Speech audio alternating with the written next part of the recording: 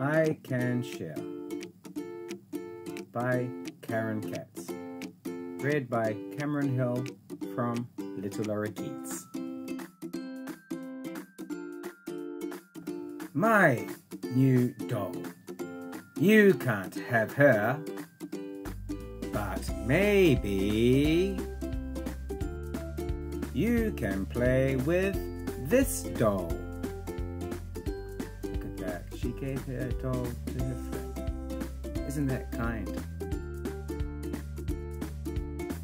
My bike. You can't ride it. But maybe I'll take you for a ride.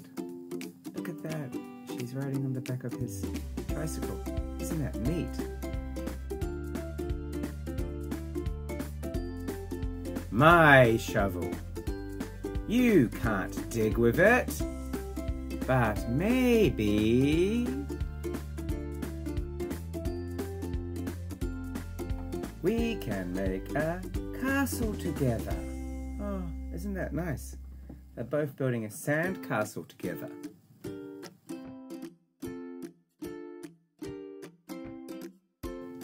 My snack. You can't eat it, but maybe...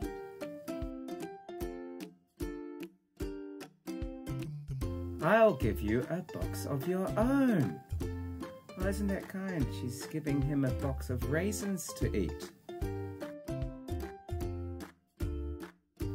My friend, you can't play with her, but maybe... We can all play dress up. Look at that, they're playing dress up together. King, queen, princess, or is it a witch? Now I know how to share.